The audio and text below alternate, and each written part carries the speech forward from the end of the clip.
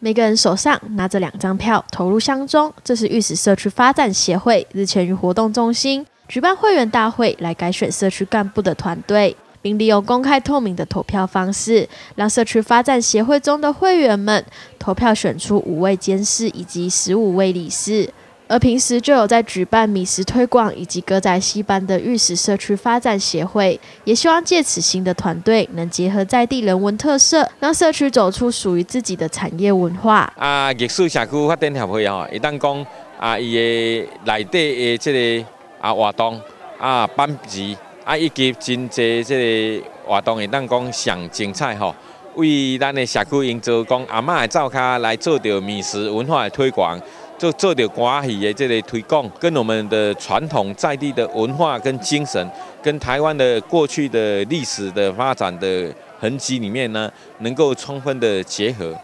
特地莅临现场的议员林永红也来勉励这些平时辛苦的社区干部们，也期盼社区能借由一次又一次的会员大会来进步以及提升社区的会务工作，也会尽力全力来帮助各个社区的发展协会。那我们期待下一步能够让玉石社区如何米食的文化，把它产生变成一个产业，未来哈。让有待我们御史社区的会员大会产生新的理监事以及新的领导阶层，来啊带领我们御史社区